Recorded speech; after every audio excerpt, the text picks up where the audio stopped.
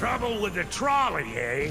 Well, use the left stick to change lanes. Press the jump button to jump. Press the attack button to fire the cannon.